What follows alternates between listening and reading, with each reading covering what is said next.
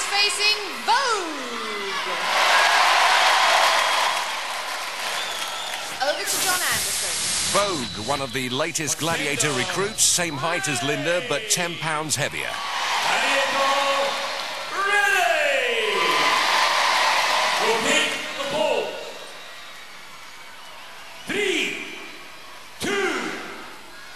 It's a straight race up the 38-foot spiral stairway to heaven. 10 points if the contender reaches the top first and the gladiator wins. It's a plunge time. Vogue climbing strongly, her first outing on Pole Axe. Linda faltering. Oh, Vogue smacks the button. Linda's got nowhere to go but down. Desperately close and Linda's family know it.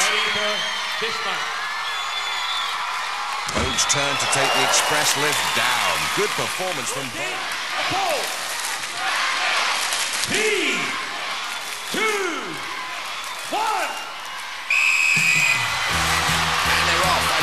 Climbing well again.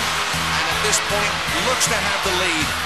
Jackie Moore used the steps leading up to a plane. Half a turn from the button. Oh, Vogue's there. Smacks it. And the air stewardess makes a false landing. Another great climb by Vogue. Well, if we take a look at that race again, Glenn is very quick off the mark. Then he really falters halfway up the pole, but recovers strongly.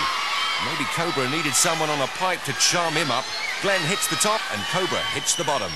Wallop! Congratulations, Glenn. You're pretty fast. I never thought I'd do it. I slipped a couple of times. I just didn't think I'd do it after the first slip, but I got there in the end. Thanks a lot.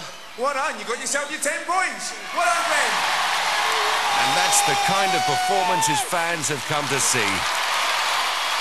So next up against Cobra, it's Chris.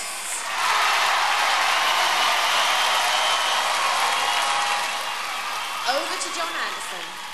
Chris exactly two stones light. Three, two, one. In Pole Axe for the contender, it's either summit or plummet, and it looks as if Chris is capitalizing on that 28-pound weight advantage. Clearly in the lead over Cobra.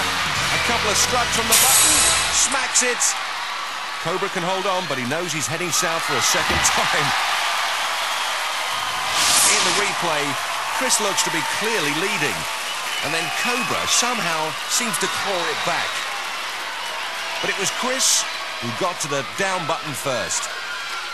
Cobra not keen to take the drop. This is one event that just keeps getting him down.